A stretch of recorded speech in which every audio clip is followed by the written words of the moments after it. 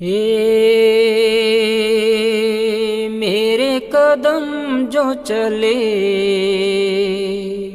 बंजर सी भूमि फले, तभी तो देखो फूलों का खिलना प्राणों के मीत मिले।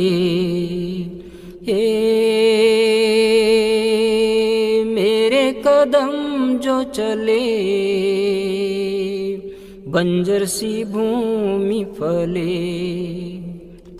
अंधेरी रात्रि सभी थे सोए, नन्हे से गीत जगे।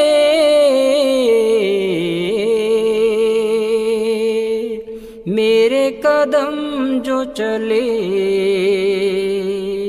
बंजर सी भूमि फले। ऐसे ही होंगे युगों के मेले, आशा की छाह तले।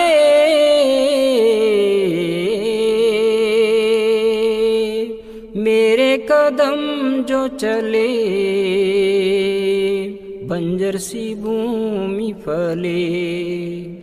टूटे हैं बंधन जल्दी में जैसे शंकर की आँख खुले।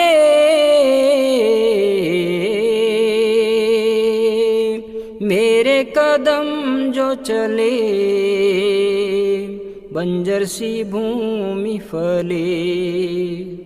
बैठेंगे कैसे आँखों के आगे, सपनों के गीत जले।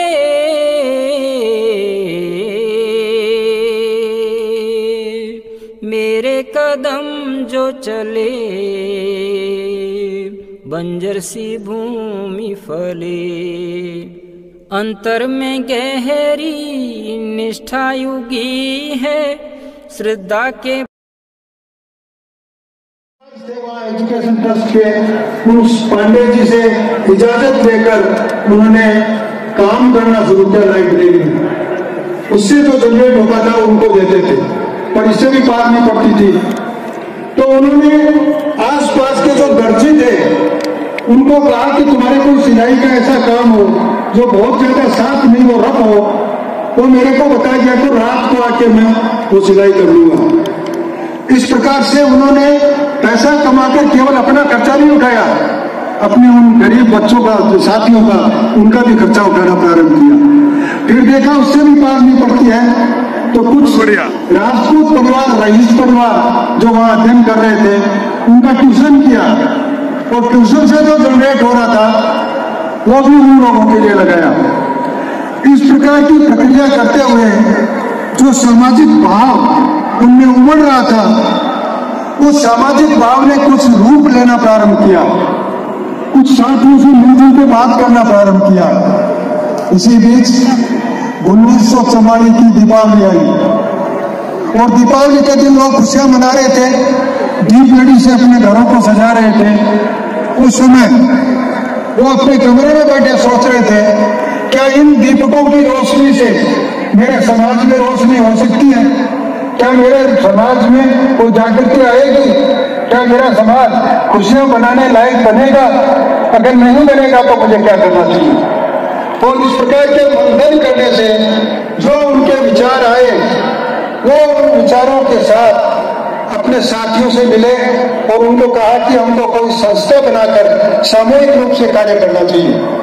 और तब वो क्षत्रिय संघ के नाम से कार्य प्रारंभ हुआ, लेकिन उसकी प्रक्रिया दूसरी थी।